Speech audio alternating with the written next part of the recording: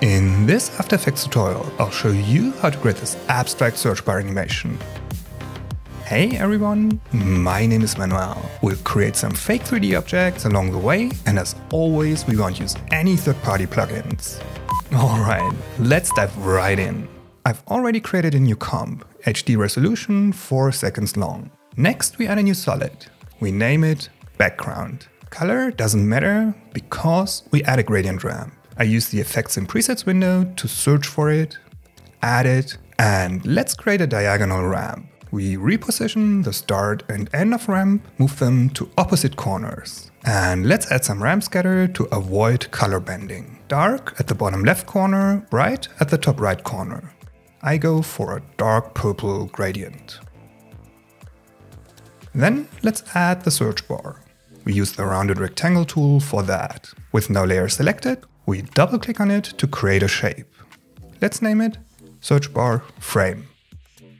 We open the rectangle path property and adjust the path size to 800 by 125 pixels.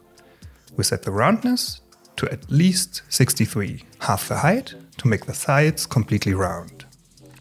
No fill, white stroke, width 4 pixels. Beautiful. We duplicate it, move it below and name it search bar background. We add a solid fill and let's use a beige color. Next, we want to add some depth, like carve the bar out of the background. We right click on the background shape, go to layer styles and add inner shadow. Let's open the property settings, color a very dark purple. Angle 55 degrees. The light comes from the top right corner. Distance 30.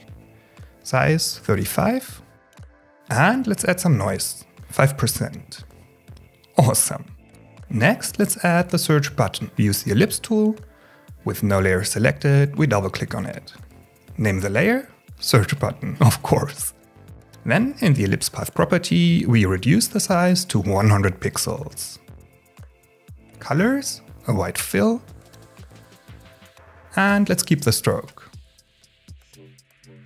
We right click on the layer and add a layer style again. This time it's a drop shadow. We open the effects property and adjust some settings. The color, a dark purple again. Then we change the angle to around 55 degrees. Actually, let's add some distance first, 25. Then let's adjust the angle, so that the shadow stays inside the bar. Let's increase the size to 30. Finally, some noise, 5%.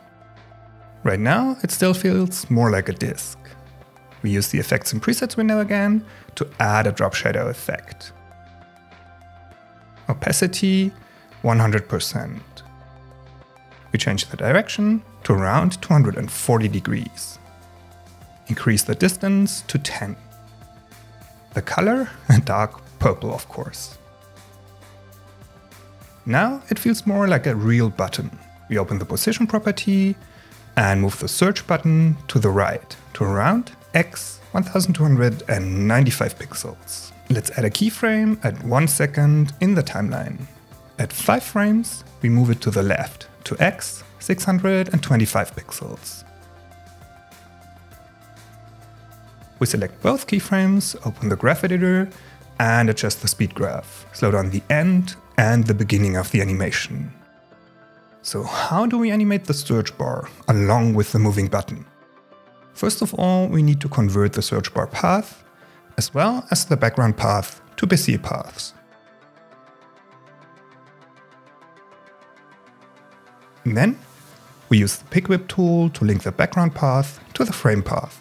So whatever the frame path does, the linked path does as well. Next we select the frame path, go to Window, and use the Create Nulls from Path script. We select Points Follow Nulls, which first of all creates 6 null objects, one for each point. We just need the 3 right ones though.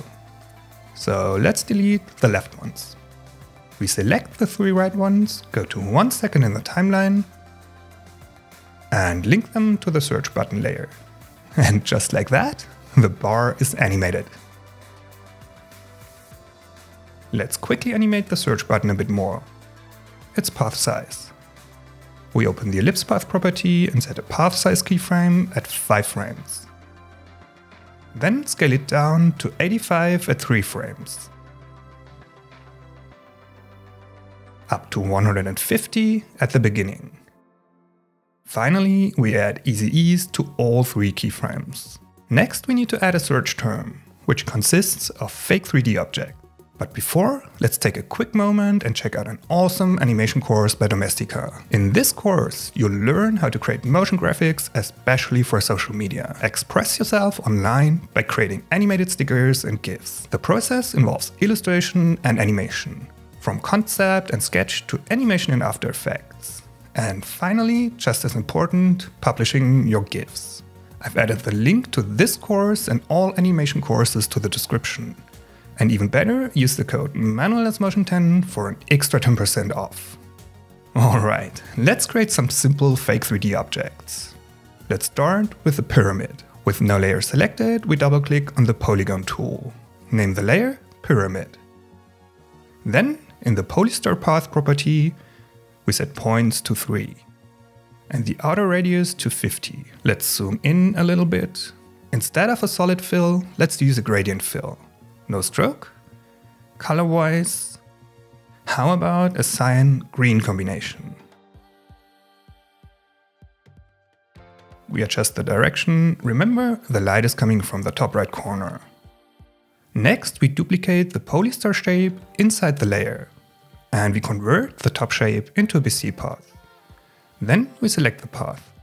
Choose the bottom left point and move it to the right. And brighten the gradient colors. That's it, a fake 3D pyramid. The only thing left to do is we need to copy the layer style from the search button layer and paste it to the pyramid. Awesome. Next, let's create a fake 3D cylinder. Therefore, we use the rounded rectangle tool. As before, with no layer selected, we double click on it. Name the layer disk. Well, probably cylinder. Then we open the rectangle path property and reduce the size to 60 by 60 pixels. We set the roundness to 30. Zooming in. Again, we use a gradient fill, a different color combination this time. And we quickly adjust the direction. Then we duplicate the rectangle shape within the layer and change the size of the first shape to 70 by 60 pixels. We move the shape to the right so that the left corners align and brighten the gradient colors again. And like before, we need to copy and paste the layer style again. And just like that, we created a fake 3D cylinder. Next, we reuse the pyramid. Duplicate the shape, move it to the top, and rotate it 180 degrees. Position it so we need to invert the gradient directions to get the lighting right. Either use the two handles or switch the two colors in the gradient editor. Let's actually darken the right side a bit more. And finally, let's create a cube. We use the rectangle tool, double click on it, name the layer cube. Open the rectangle path property and reduce the size to 65 by 65 pixels. Again, we use a gradient fill. I keep the colors for now. Adjust the direction. Then we duplicate the rectangle. I move one of the shapes to the left. And like before, we brighten the gradient colors. Actually, Actually, let's move the bright shape to the bottom this time. Don't forget to copy and paste the layer style. Awesome, here are four fake 3D objects. which we finally animate. Let's adjust the endpoints of the object layers first. They come in one after the other. The pyramid at 20 frames, the disk at 24, the second pyramid at 28 frames, the cube at 32 frames. Then let's start with the pyramid. We open the position property and set a keyframe at 33 frames, the final position. At 24 frames, we move it down, so that the bottom edge hits the frame. At 20 frames, we move it above the search bar. We select all three keyframes, open the graph editor and adjust the speed graph. Slow ending, a pause around this middle keyframe, and a very fast beginning.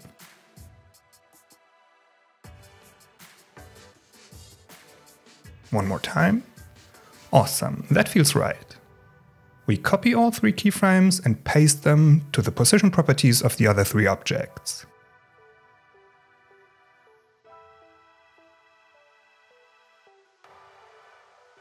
Unfortunately, now we need to reposition them. Make sure you're on the last keyframe and have all three keyframes selected. Now we simply adjust the X position.